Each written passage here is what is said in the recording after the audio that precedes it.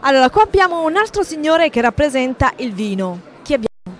Sono Tiziano, Tiziano Castagneti, uno dei quattro fratelli titolari dell'azienda agricola tenuta Sant'Antonio, che oramai ha raggiunto i nostri primi vent'anni di età, proprio esattamente l'anno prossimo. Nostra prima etichetta 95 e quindi siamo molto molto contenti di essere qui ancora una volta in questo territorio tedesco ad appoggiare tutte le iniziative che il eh, Andronaco da tanti anni ormai sta proponendo.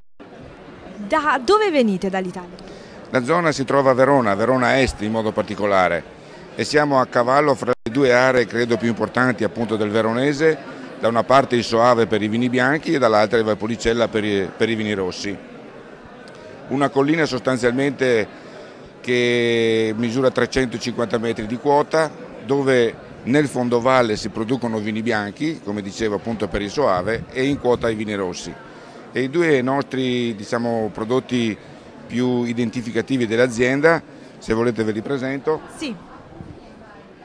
Il primo si chiama Skaya e ripete un po' quello che eh, nel gergo comune eh, indica la fetta di formaggio, che eh, rappresenta appunto la forma e lo scheletro del, dei sassi che ci sono presenti nella nostra collina. È ottenuto da Garganega, la base appunto del Soave, con un taglio di Chardonnay. Un vino che gioca tantissimo sulla complessità e l'intensità aromatica, un vino che eh, subito d'impatto avvolge e attira appunto il consumatore ad un eh, continuo consumo e piacevolezza.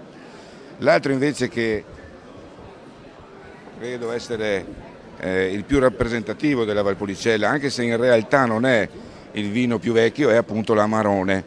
Amarone, vino rosso veneto secco ottenuto da uve passite. Per ottenerlo ovviamente bisogna utilizzare le cinque tipologie di cultivar previste dalla disciplinare e un 10% di varietà sempre autoctone a bacca rossa di Verona, non aromatiche, dando la possibilità appunto a noi produttori di poterselo personalizzare, senza però abbandonare quella che è l'identità specifica appunto dell'amarone, il sapore e i profumi della ciliegia. Ti va di raccontarci com'è nata la collaborazione con Andronaco?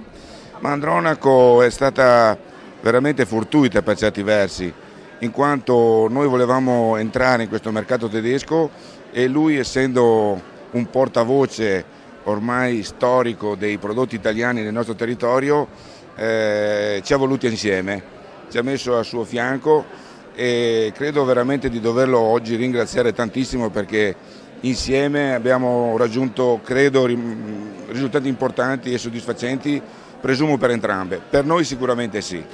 Da quanti anni di preciso? Saranno una decina di anni abbondanti.